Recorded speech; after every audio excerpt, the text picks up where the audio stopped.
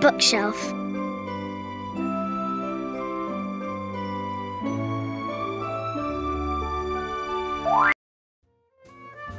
Monsters Incorporated. Always time for a laugh. Beep, beep, beep. Mike Wazowski's eye popped open and he grinned. It was his favorite hour of the day. Time for work. Mike turned off his alarm clock and hopped out of bed. He didn't want to be late for his job at Monsters Incorporated. When Mike got to Monsters Incorporated, he headed straight to the locker room. His job was to go into the human world and make kids laugh, then bring the laughs back to Monstropolis to be changed into energy. But Mike wasn't just any employee, he was the top laugh collector. He earned this title by always coming up with new jokes. Mike walked down the hall to the laugh floor.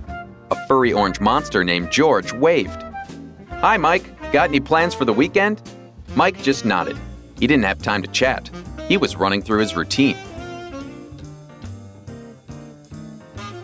Mike practiced his jokes aloud. A sandal bumped into a sneaker. Want to hang out? The sandal asked. The sneaker raced off. Sorry, gotta run. When the buzzer sounded, Mike stepped through his station door and into a child's bedroom closet. He tiptoed to the bed. A little boy lay sound asleep. Guess he had a busy day, Mike said. I'll have to crack up somebody else tonight. A new door slid down, and Mike stepped through it. You've got to be kidding, he whispered. The girl in this bedroom was asleep too. Mike returned to the laugh floor and tried another door, then another, but all the children were asleep. What a disaster, Mike grumbled. I can't believe I'm saying this, but I'm calling it quits for tonight. Mike found his friends and told them what happened. That's funny, said George. I didn't have any problems tonight. It was one of my best nights ever, said another monster named Charlie.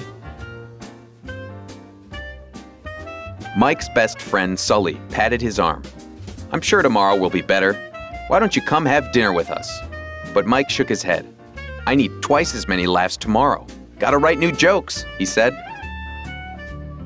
When Mike got home, his girlfriend Celia called. How was work? she asked. Terrible, Mike groaned. Don't worry, Celia told him. The laughs will come. So, do you want to go to a movie on Saturday? Celia asked Mike. I don't know. Can I tell you tomorrow? he said. Then he hung up and wrote eight new jokes before he finally went to bed. The next night, Mike couldn't wait to capture some laughs. What did the ghost serve at his birthday party? Ice cream, he joked, warming up. But each time Mike stepped through a closet door, he found a sleeping child again. What's the matter, Mike? George asked. You look upset. Want to grab a bite? Not now, Mike grumbled. Everything okay, Mike? Sully asked. No, everything is terrible, Mike said. Suddenly, Mike noticed Sully was grinning, and the other monsters were too. Even Celia's hair snakes were smiling. Maybe you should relax, Sully suggested with a wink. What do you know about this? Mike asked suspiciously. We got you, George and Charlie exclaimed and high fived. Got me? said Mike.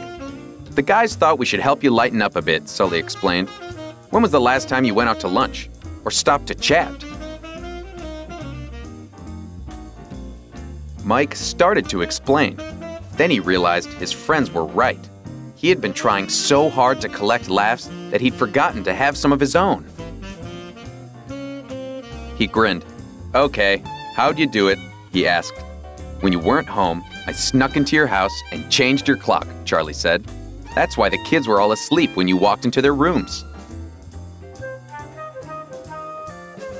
I kept their secret, Celia confessed. I thought the King of Laughs could use a good laugh too.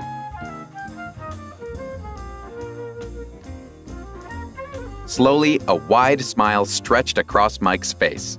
Then he started to laugh. I have to admit it, you guys really had me going, he chuckled. Sully cracked up too. This time, Mike, the joke was on you. The end.